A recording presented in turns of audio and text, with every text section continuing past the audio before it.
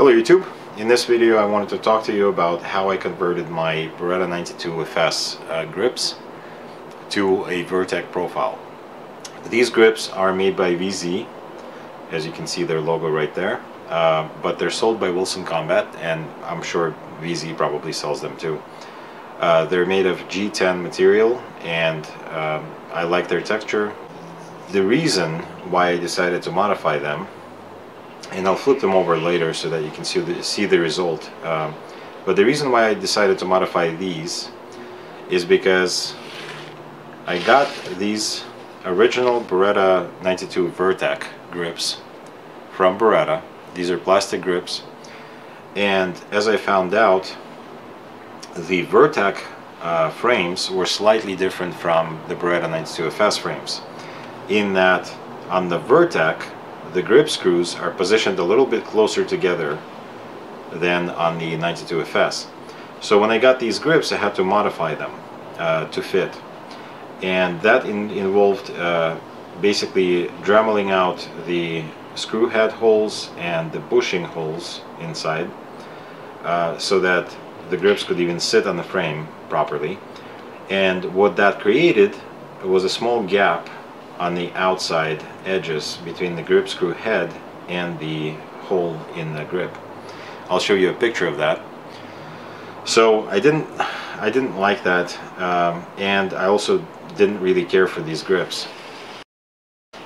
Uh, the funny thing is that the Beretta M9A3 uh, grip that I got to check my radius when I was converting my frame it actually fits perfectly. So the 92FS uh, position of screw holes or screws and the M9A3 is identical. I will show you pictures because I didn't actually film the process. I will show you pictures of what I did um, step by step basically in converting these. The tool I used came in this set. This is a Prosperity Tool, Florida, USA. Five uh, diamond needle file set. The size of files is 3 millimeter diameter by 140 millimeter uh, length, I guess, and 30 millimeter maybe work area, I don't know. 3 millimeter by 140 by 30. So the tool I used was the round needle file. As you can see it's curved like so and the working surface was right here on the bottom of this spoon-like shape.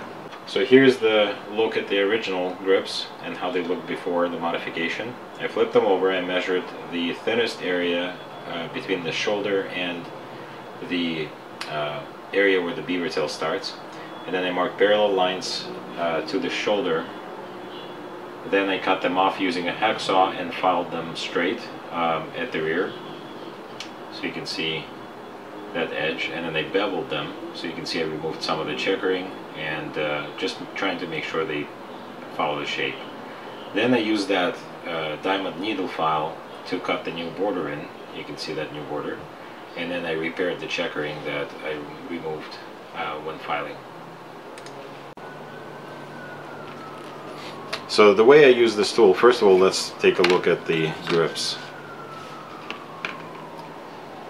Here's what they ended up looking like.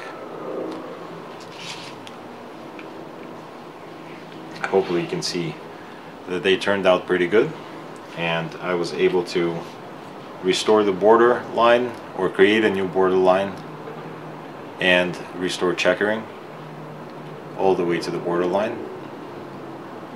Hopefully all of that you're seeing. Let me show you the other side. Here's the other side.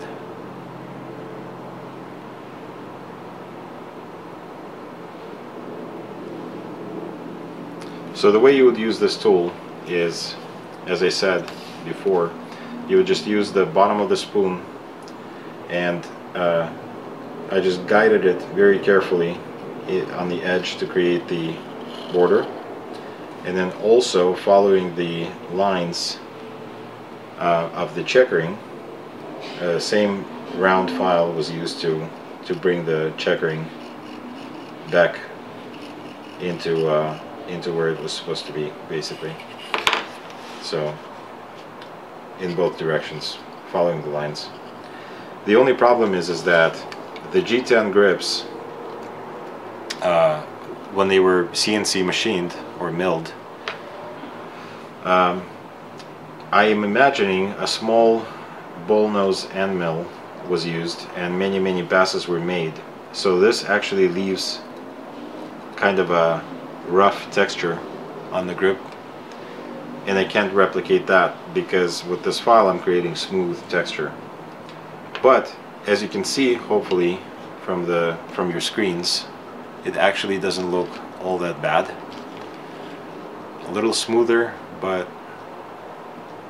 still not bad. Hopefully you can tell. So this is how I converted these grips to a Vertec profile. And because they're original 92FS the grip screws uh, will line up perfectly. Thank you for watching